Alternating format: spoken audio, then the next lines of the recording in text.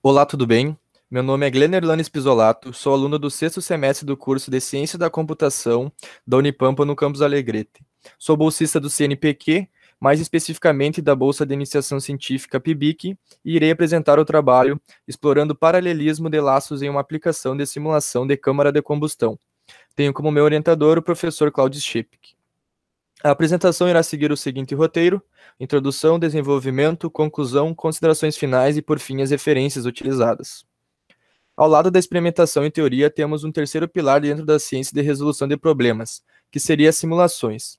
Capacidade essa que a programação nos permite realizar simbolicamente, podendo representar ambientes que seriam impossíveis de se representar no mundo real. Um exemplo disso é um algoritmo desenvolvido pela Manco em 2014, o qual possibilita avaliar a mistura entre combustível e oxidante em uma discretização bidimensional das equações de Euler. Mateus Castro Silva e César Cristaldo, em 2018, criaram uma adaptação do algoritmo da Manco para que o mesmo usasse as equações Navier-Stokes para a representação do mundo real. A figura mostra a metodologia uh, utilizada da câmara de combustão, onde U1 e U2 representam combustível e oxidante, e através da adição de ar do lado oposto, ocorre a mistura das duas soluções de densidades diferentes. Esse método é chamado de instabilidade de Kelvin-Helmholtz. Essas simulações de alta ordem e fidelidade são frequentemente usadas e requerem um layout computacional extenso. O código foi escrito em Fortran 90 e implementado de forma sequencial, o que é muito custoso computacionalmente falando. Diante disso, teve-se a ideia de otimizar o solucionador Navier-Stokes utilizando paralelismo com aplicações multicores, utilizando as diretivas OpenMP. Essa biblioteca possui uma simples implementação e é compatível com a linguagem Fortran 90 utilizada no código sequencial. Inicialmente, a versão sequencial foi posta em teste, retirando os valores originais de tempo de execução e inicialização. Em seguida, o código foi então avaliado com a ferramenta gproof, que faz coletas estatísticas do tempo de execução demandado por cada rotina que compõe o código.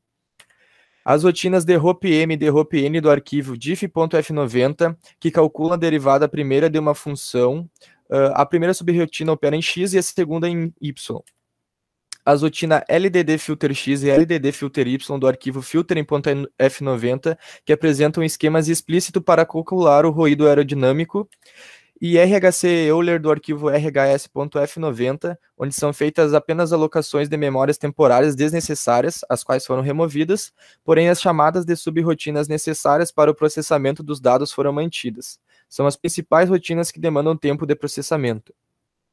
Então, após realizar inspeções nessas rotinas e identificar os laços alinhados, descobriu-se que os laços operam sobre estruturas de dados bidimensionais das propriedades físicas.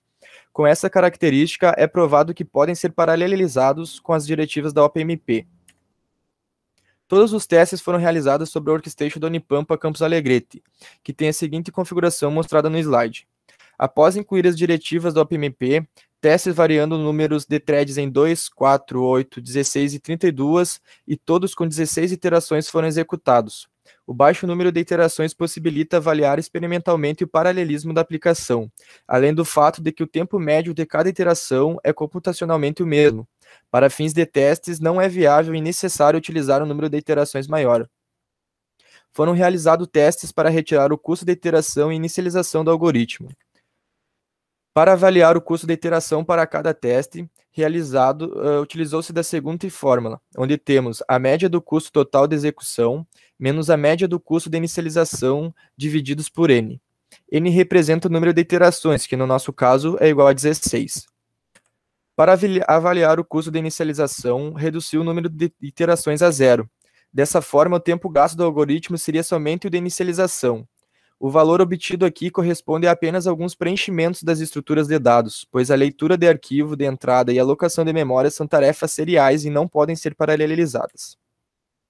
Ao realizar o primeiro e mais simples experimento com duas threads, nota-se que o custo por iteração já foi reduzido a metade em relação ao algoritmo executado sequencialmente, chegando a ter uma eficiência de aproximadamente 50%.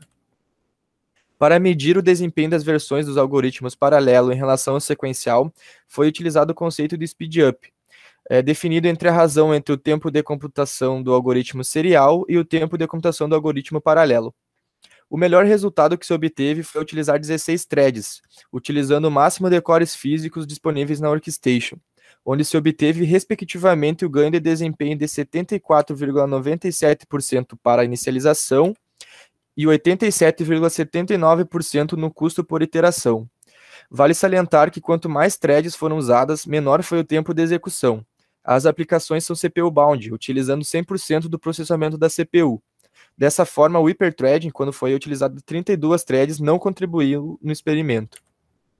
O principal objetivo desse trabalho foi alcançado com a paralelização de partes do algoritmo, onde se obteve ganhos de desempenho expressivos nos diversos testes realizados do algoritmo, chegando a incríveis 87,79% de eficácia. Como trabalho futuros, buscamos complementar o algoritmo com mais otimizações paralelas e também utilizar a arquitetura GPU, podendo assim aumentar o poder computacional para realizar testes mais complexos, visando ainda mais a otimização e ganho de desempenho do código. Muito obrigado.